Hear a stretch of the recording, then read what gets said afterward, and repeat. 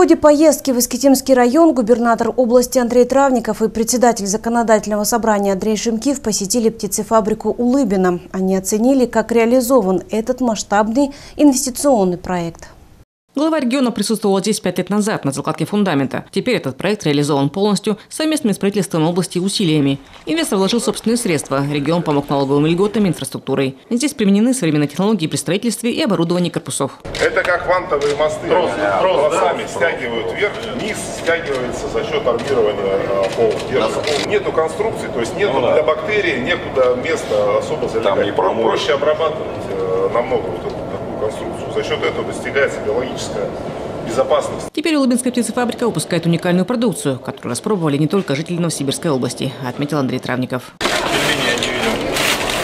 Пельмени натурально, ну, это бургерная котлета. Мы полностью себя обеспечиваем э, мясом э, птицы и курятины, и вот теперь э, утятины, причем утятину поставляем э, в географии от Калининграда до Владивостока. В целом продовольственная безопасность Новосибирской области, она обеспечена. Конечно же, есть зависимость от э, импортных технологий, от импортной генетики.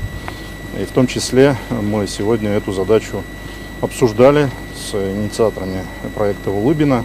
Сейчас для разведения используется бройлерная утка Стар-53. В рамках импортозамещения предприятие планирует вывести собственную репродуктивную породу с помощью ученых-генетиков и селекционеров. Тот вопрос, который сегодня они ставят по генетике, его надо обязательно решать. Сегодня, когда проблема со сбытом зерна, нам просто необходимы такие предприятия, птицеводческие, животноводческие, чтобы э, рынок потребления был внутренний.